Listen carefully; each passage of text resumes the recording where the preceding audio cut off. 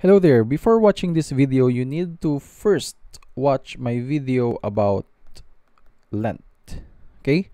So, for you to get the all the basics about conversion because conversion uh, will lead you or will basically give you the idea on how to convert from one unit to another.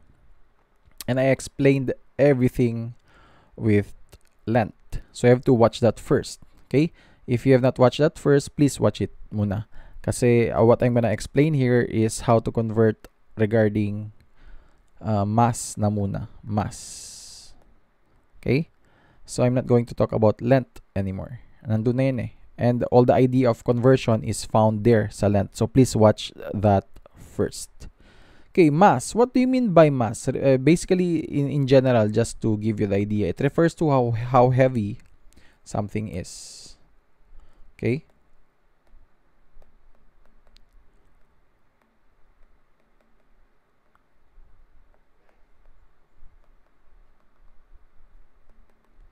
This is in basic language, okay? Not the official, um, ano pa to? Not the official uh, definition of the term mass.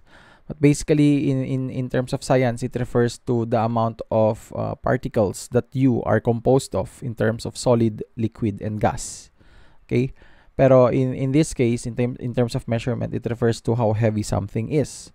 Okay? Pero sa akin nga, there's a conflict between mass and uh, basically iba kasi iba yung iba yung nire-refer nila sa mass. So anyway, the units for mass, no mga units na ginagamit natin dito is basically just kilograms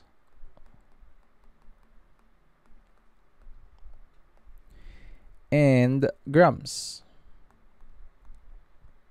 Meron pa yan mga mas maliit pero we are only going to talk about kilograms and grams. Okay. Like in length, these kilograms and grams can be equivalent as well.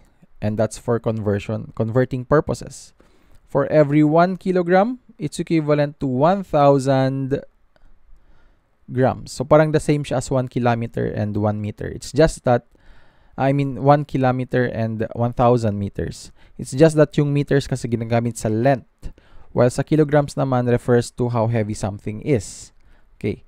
So, it means that for every 2 kilograms, it is equivalent to 2,000 grams.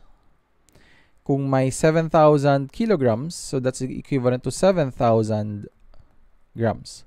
Doing the opposite, the other way around, we can also say that if there is 3,000 grams, it's equivalent to 3 kilograms.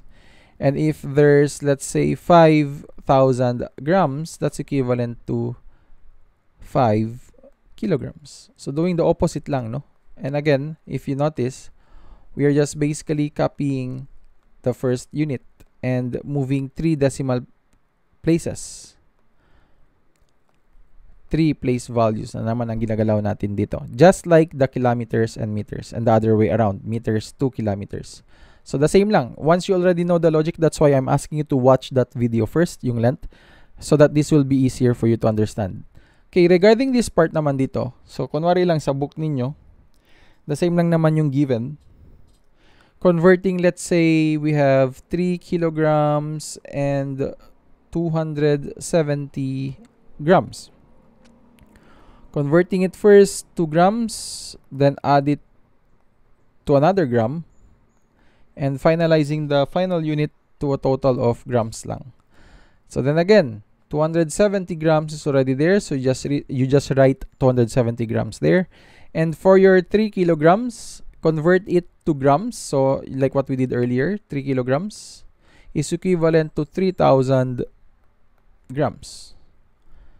So for your final unit, all you need to do is just to write 3270 grams. Again, this is what you call conversion. Ganun lang kadali. Okay? Another example, just to clear everyone. 6 kilograms and let's say 1 gram lang. So breaking it down again, we have blank grams and blank grams. So, total of total grams na meron tayo. So, meron tayong 1 gram lang dito. Just add it there. And for 6 kilograms, converting 6 kilograms to grams, you already know that. So, it should this should be equivalent to 6,000 grams. So, putting both together, that's equivalent to 6,001 grams. Okay? So, ganyan lang. And doing the opposite, expected na yan sa next page natin. Doing the opposite, converting grams. Let's say 7,245 grams. Converting it muna, isa-separate natin muna by gram. And later on, finalizing it by kilograms and grams. So, if you observe, conversion unit natin comes in thousands, di ba? So, thousands tayo. So since thousands, again, we are separating 7,245 by 1,000. So this becomes 7,000 and this becomes 245. So we now have the unit of 7,000 here and 245 here. Okay, kasi ni-breakdown natin like what we did earlier yung sa length.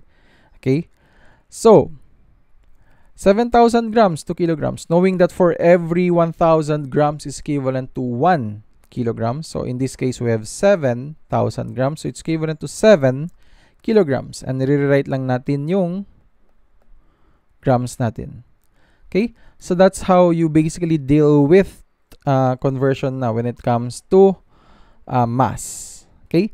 So ganun lang. So that's basically it for today muna.